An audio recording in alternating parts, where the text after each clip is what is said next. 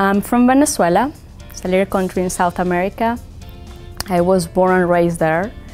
And I moved to the States 2009. Uh, I went uh, to school back home to do med school. And then I moved to the States and I did my residency here and my fellowship here.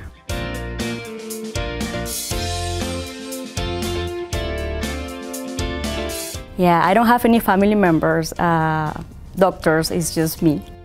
Uh, first time. And this little dream started when I was a little kid, probably around five year old.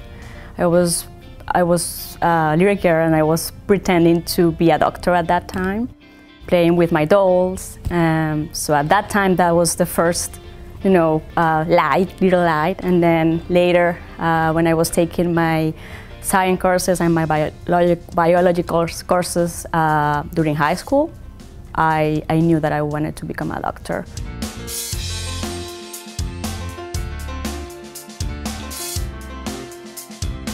I think the reward that you feel from your patients, uh, sometimes it's very difficult to get into the, the right diagnosis. You will have a patient and then it will take you a while to discover or, or know what's going on.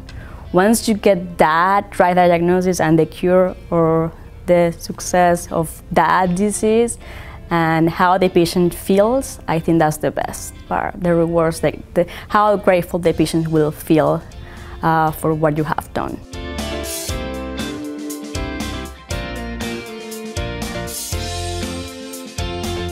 So Latino doctors are very warm, okay? So I, I know here is a little bit different, but I try to keep that roots from, from home, still here, even though I'm in the States and it's a different culture.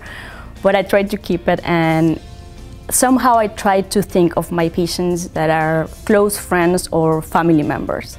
That helps me to do a better job and helps me to have a deeper commitment with them.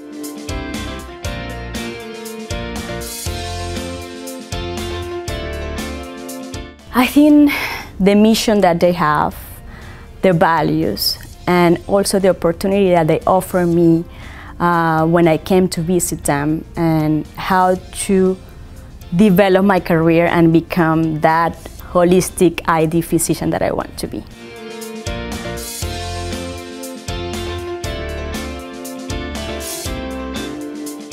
I have a husband and three boys, um, so I enjoy uh, spending time with my family, mostly at home. We love to cook and try to do activities outside.